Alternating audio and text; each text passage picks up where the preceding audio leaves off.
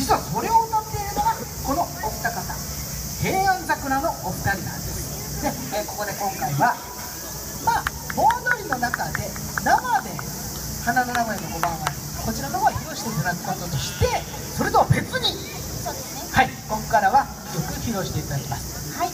ではお願いいたしますはい、えー、皆さんこんにちは平安桜です花の名古屋の5番割りはこの後盆踊りの中で生でこちらで披露させていただきますので今からは私たち、えーこの三味線とオカリナで少し演奏をしますので聴いていただきたいなと思いますまず最初に聴いていただきますのは「わらべ歌」「わらべ歌」の中から「総連生」「ずいずいずっころばし」そして「あんた方高さ」この3曲をメドレーでお聴きください。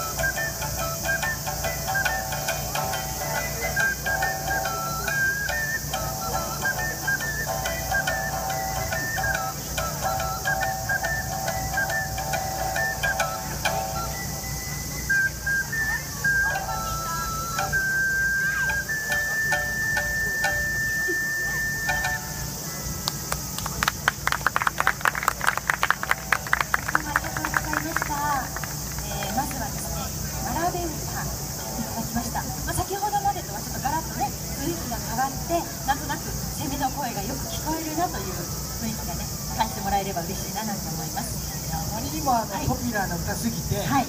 演奏聴けばいいのにみんな歌い出すんですよ大体。あいやそれは嬉しいことですよね。